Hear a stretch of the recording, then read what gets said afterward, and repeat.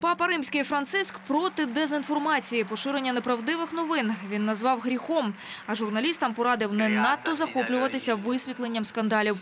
Роботу над такими темами порівняв із порпанням у брудній білизні. Понтифік засудив і тих, у чиїх руках медіа стають маріонетками і без розбору обливають брудом політиків. Анастасія Синіговська, Андрій Городиський. Новини на першому.